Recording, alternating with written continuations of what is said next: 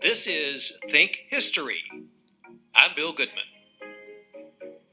In the early years of statehood, counties were created so that a person could ride his horse to and from the county seat in one day to transact business. Counties were often created to honor a military hero or governor. Over time, politicians saw that there was money to be made in creating a county. A new courthouse must then be built, and officials to work in that courthouse, including clerks and sheriffs, must be hired. There were jobs to be offered, and creating counties became big business. In 1912, with McCreary County, Kentucky reached its current total of 120 counties.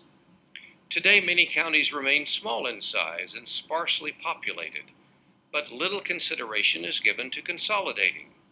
To most Kentuckians, their county is not simply a unit of government, it is an object of affection and a basis of their self image.